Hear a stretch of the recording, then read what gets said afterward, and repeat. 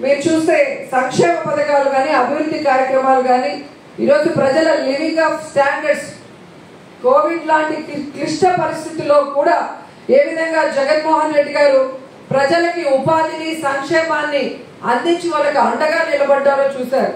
అంటే దాదాపుగా చంద్రబాబు నాయుడు నాకు విజన్ ఉంది విస్తరాకులు కట్టుందని చెప్పుకోవడమే తప్ప పేదరికాన్ని ఏమాత్రం తగ్గించలేకపోయాడు. కానీ జగన్మోహన్ రెడ్డి గారు మనం మాట్లాడటం కాదు మన పని మాట్లాడాలి అంటారు. ఆ విధంగా సైలెంట్గా తను పని చేసుకుంటూ పోయాడు. ప్రజలకి మంచి చేశారు రాష్ట్రానికి మంచి చేశారు. ఈ రోజు చంద్రబాబు నాయుడు పరిపాలనకి జగనన్న పరిపాలనకి five point seven one percent పావర్టీని తగ్గించారు అంటే సభాష్ జగన్మోహన్ రెడ్డి గారు అని చెప్పి ఇంటలెక్చువల్తో సహా ఈరోజు జగనన్నని అప్రిషియేట్ చేసే పరిస్థితికి వచ్చిందన్న విషయాన్ని కూడా మీరు అర్థం చేసుకోవాలి. అలాగే నీతి ఆయోగ్ జగనన్న పాలనలో ఎగుమతులకి బాగా గ్రోత్ రేట్ ఉంది అని కూడా ఇవ్వటం జరిగింది. మీరు చూస్తే ఈరోజు గ్రోత్ రేట్ సాధించాలి అంటే దాని అర్థం ఏంటి? ఈ రాష్ట్రంలో పారిశ్రామిక అభివృద్ధి వాణిజ్య రంగం అలాగే వ్యాపార రంగం అభివృద్ధి కూడా చెందుతోంది అని ఎగుమతులు కూడా చాలా పెరిగాయని క్లియర్ కట్గా నీతి ఆయోగ్లో ఇవ్వడం జరిగింది. గతంలో చంద్రబాబు నాయుడు పరిపాలనలో మీరు చూస్తే ఈ రాష్ట్రం ఇరవయవ స్థానంలో ఉంటే ఈరోజు జగనన్న పరిపాలనలో ఎనిమిదవ స్థానానికి వచ్చింది. సో ఇది ప్రతిపక్షాలు తెలుసుకోవాలి. మంచి మనసు ఉండాలి. ఏమీ తెలియని వాడు ముఖ్యమంత్రిని అయిపోతానని ఇక్కడ అంటాడు అక్కడ పోయి నాకు అంత సీన్ లేదు. చంద్రబాబు నాయుడిని ముఖ్యమంత్రి చేయడానికి మనం అందరం కలిసి వెళ్దామంటాడు. మోడీ గారేమో ఆయన్ని అవమానించింది మర్చిపోలేదు. ఆయన వచ్చినప్పుడు నల్ల బెలూన్లు ఎగరేసింది అమిత్ షా వచ్చినప్పుడు చెప్పులేసింది. గతంలో మోడీ గారు నా రాష్ట్రానికి వస్తే ఉరిదీస్తారని మాట్లాడింది ఏమీ మర్చిపోలేదు. చంద్రబాబు నాయుడికి బానిసనని చెప్పుకుంటున్నాడు.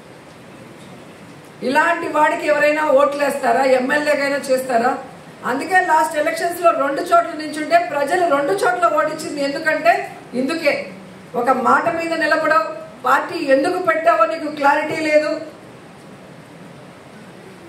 ఏం చేయబోతామో రేపన్నా ఇప్పటికీ కూడా లేదు. ఢిల్లీలో ఒక మాట గల్లీలో ఒక మాట ప్రెస్ మీద ఒక మాట ప్రెస్ లేనప్పుడు ఒక మాట. నువ్వో జగన్మోహన్ రెడ్డి గారిని మాట్లాడేది? నువ్వు సినిమాల్లో హీరో అవ్వచ్చేమో. పాలిటిక్స్లో జీరో. జీరో. జగనన్నని అనే అర్హత నీకు నీ పార్టీ వాళ్ళకి ఎవరికి కూడా లేదు. నిన్న మీ అధికార ప్రతినిధి ఒక ఆవిడ ప్రెస్ మీట్ పెట్టి మాట్లాడింది. మీ ఛానలే ప్రైమ్ నైన్లో టెలికాస్ట్ అయింది. చిరంజీవి గారి వల్ల పవన్ కళ్యాణ్ రాజకీయ జీవితం నాశనం అయిందంట. ఎంత పెద్ద స్టేట్మెంట్ ఒకసారి ఆలోచించండి. ఈరోజు పవన్ కళ్యాణ్ అనేవాడు సినిమాల్లో కానీ రాజకీయాల్లో కానీ ఎవరైనా చూస్తున్నారు అంటే అది కేవలం చిరంజీవి గారి వల్లే. చిరంజీవి గారు పెట్టిన భిక్ష అనేది ఆ పార్టీ వాళ్ళు తెలుసుకోవాలి. వాళ్ళ అన్న తెలుగుదేశంతో జత కట్టద్దు. చంద్రబాబు నాయుడు ఒక పనికి మాలిన పొలిటీషియన్ అని చెప్పాడు కాబట్టే ఈరోజు చిరంజీవి గారిని తిడతారు. వాళ్ళ తల్లిని తిట్టిన వాళ్ళని మర్చిపోయి వాళ్ళ సంఖ్యలకి వాళ్ళు గెలిపించాలనుకుంటారు. ఎవరైతే ఫ్యాన్స్ ఈయన వెనకబడతారో ఈయన మీటింగ్స్కి వస్తారో అలగా జనం శంకర్ జాతి నా కొడుకులు అన్న బాలకృష్ణ ఇంటర్వ్యూకి ఏమో సంకలు ఎగరేసుకొని వెళ్ళి నవ్వుకుంటూ సిగ్గుపడుతూ ప్రెస్ మీట్లు ఇస్తారు. ఇంటర్వ్యూలు ఇస్తారు.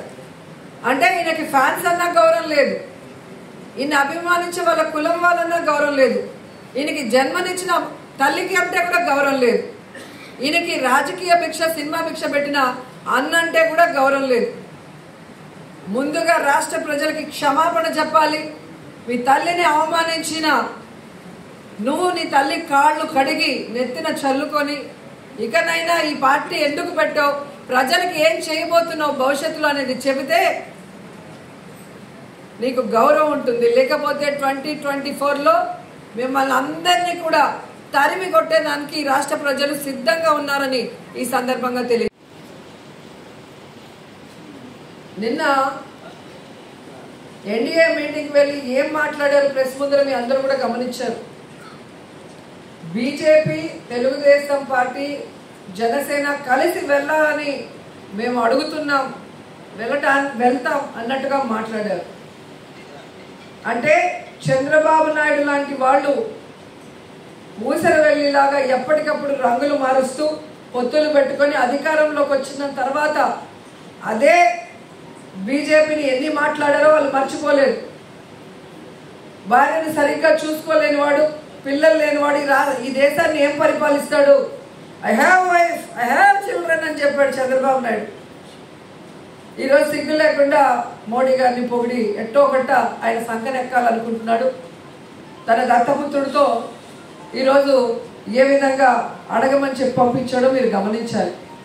అలాగే మోడీ గారి వల్ల ఈ దేశం నాశనం అయిపోతుంది బీజేపీ వల్ల నాశనం అయిపోతుంది అని చెప్పిన చంద్రబాబు నాయుడు ఈ రోజేమో బీజేపీ సంకనెక్కాలని ఎలాగైనా ఆ పార్టీలో దూరటానికి పవన్ కళ్యాణ్ని వాడి ఒక దళారి లాగా ఎలా పంపించారో మనం చూసాం. కానీ పవన్ కళ్యాణ్ తెలుసుకోవాల్సింది తాను టూ థౌజండ్ నైన్టీన్ ముందు తుని సభలో మాట్లాడారు. గొంతు కోసుకుంటానే కానీ ఆత్మ గౌరవాన్ని తాకట్టు పెట్టను.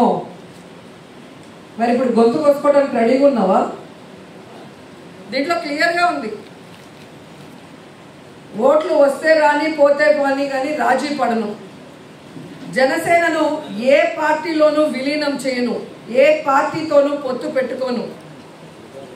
రాహుల్ని ఎలా కలిశాడు పౌరుషం లేదా నీకు చంద్రబాబు అని నిలదీశాడు.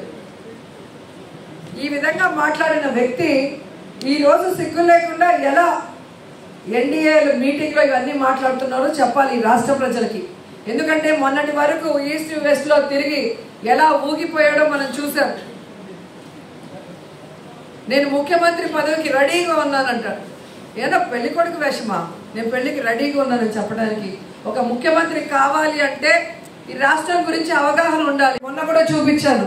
అర్ధరాత్రి ఎలాంటి ఒక మెంటల్ స్టేటస్లో ట్వీట్ చేశాడో మీరే చూశారు.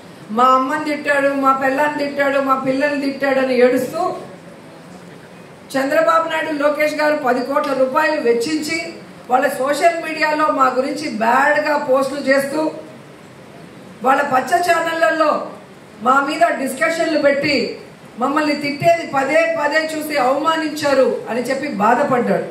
ఈరోజు తల్లిని అవమానించిన వ్యక్తిని ముఖ్యమంత్రిని చేయడానికి ఈరోజు ఎన్డీఏ దగ్గర దళారిలాగా వెళ్ళిన పవన్ కళ్యాణ్ ఏమనాలో ఒకసారి మీరు ఆలోచించండి.